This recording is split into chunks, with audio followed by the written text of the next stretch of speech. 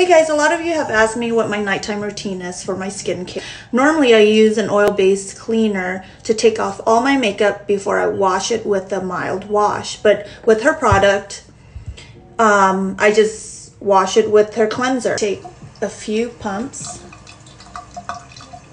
A little goes a long way. And then it just foams up.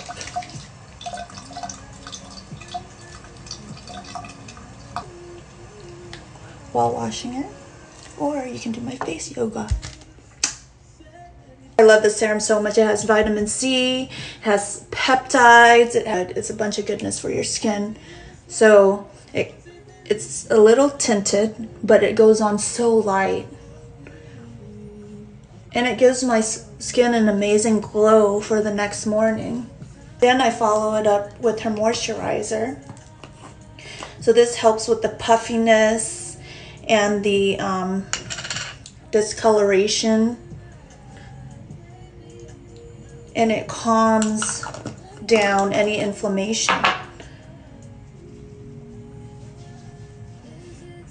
What I love about this product is it's affordable. It doesn't break your bank. So this is my nighttime routine. I hope you enjoy. Have a good